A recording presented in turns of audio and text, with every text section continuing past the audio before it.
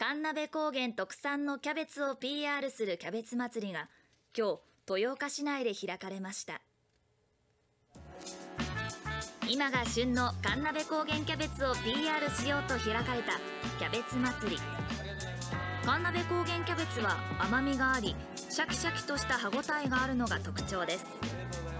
祭りでは新鮮なキャベツを1玉100円で販売したほか広島焼きや焼きそばなどキャベツを使った料理を販売する店舗が並びました。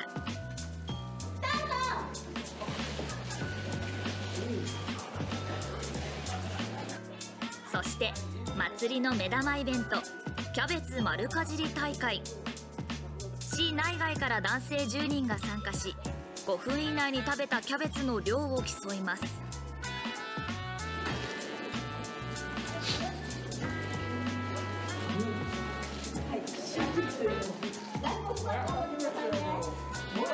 美味しいけどあんが疲れる。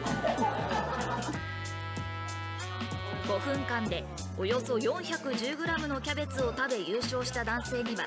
特大のキャベツが贈られました。味ね最初塩をかけて食べたんですけど甘くてすごい美味しかったです。であと味噌味噌もつけて食べてこれもまた味変がしてお食べやすかったです。神鍋高原キャベツは来月上旬頃まで